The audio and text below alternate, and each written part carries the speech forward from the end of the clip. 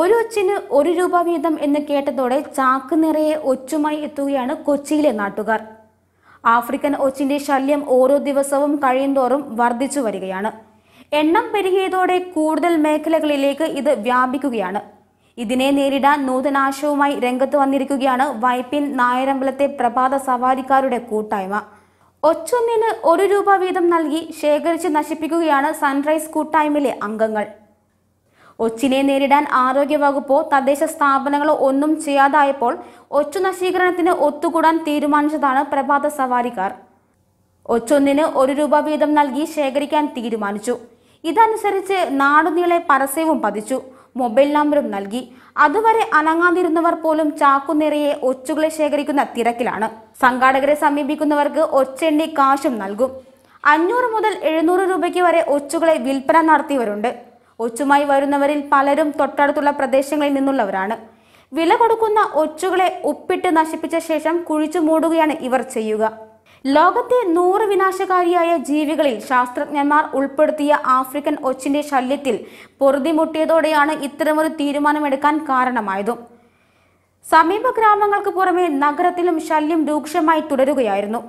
July മാസത്തോടെയാണ് നഗരത്തിൽ ഇവയുടെ സാന്നിധ്യം കൂടുതലായി കണ്ടു തുടങ്ങിയത് ഇപ്പോൾ വിവിധ ഭാഗങ്ങളിൽ വ്യാപിക്കുകയാണ്. ജനവാസ കേന്ദ്രമായ തോട്ടക്കാട്ടുകരയിലാണ് ശല്യം കൂടുതൽ.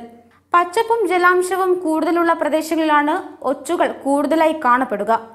ഉപ്പ് വാരിയിട്ടാൽ ഇവ നശിക്കുമെങ്കിലും പതിനായിരക്കണക്കിന് വരുന്ന ഒച്ചിനെ എങ്ങനെ പൂർണമായി നശിപ്പിക്കാനാവുമെന്ന് അറിയാതെ നട്ടം തിരയുകയാണ് നാട്ടുകാർ.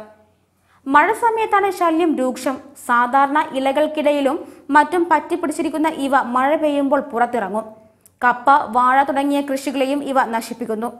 വാഴക്കൈകളിൽ ഒട്ടിപ്പിടിച്ചിരിക്കുന്ന ഇവ നീരൂറ്റി കുടിക്കുമ്പോൾ വാഴകൾ ഉണങ്ങിപ്പോകുകയാണ് ചെയ്യാറ്. ഉപ്പു വിതറിയാൽ ഇവ നശിക്കുമെങ്കിലും അധികം താമസിയാതെ കൂടുതൽ ഒച്ചുകൾ എത്തിപ്പെടുകയാണ് ചെയ്യുക. ഒരു ഒച്ച് അഞ്ഞൂറ് മുട്ടകൾ വരെ ഇടുമെന്നാണ് വിദഗ്ധർ പറഞ്ഞത്. അതുകൊണ്ട് തന്നെ ഇതിന്റെ വ്യാപനം രൂക്ഷമായി കൊണ്ടിരിക്കുകയാണ്. മണ്ണടിയിലാണ് ഇവ മുട്ടകൾ ഇടുന്നത്. അതുകൊണ്ട് തന്നെ അവ നശിപ്പിക്കാനും സാധ്യമല്ല. മാരകമായ മെനിഞ്ചൈറ്റിസ് രോഗം പടരാൻ ഇവ കാരണമാകുമെന്ന് വിദഗ്ധർ ചൂണ്ടിക്കാട്ടുന്നു. കടുത്ത തലവേദനയാണ് പ്രധാന രോഗലക്ഷണം. തുടർന്ന് രോഗി കോമാവസ്ഥയിൽ വരെ എത്താം. മരണവും സംഭവിക്കാം. ഗുരുതര രോഗങ്ങൾക്ക് ഇടയാക്കുന്ന ആഫ്രിക്കൻ ഒച്ചുകളെ നിസ്സാരമായി തള്ളിക്കളയരുതെന്നാണ് വിദഗ്ധരുടെ മുന്നറിയിപ്പ്. അതുകൊണ്ട് ഇവയെ കൈകാര്യം ചെയ്യുന്നവർ വളരെ സൂക്ഷിക്കേണ്ടതുമുണ്ട്. വെറുതെ കാലുകൊണ്ട് തട്ടുകയോ കയ്യിലെടുക്കുകയോ ചെയ്യരുത്. കയ്യുറ ഉപയോഗിക്കണം. സ്പർശിച്ച സോപ്പ് കൊണ്ട് കൈ കഴുകി വൃത്തിയാക്കുകയും ചെയ്യണം.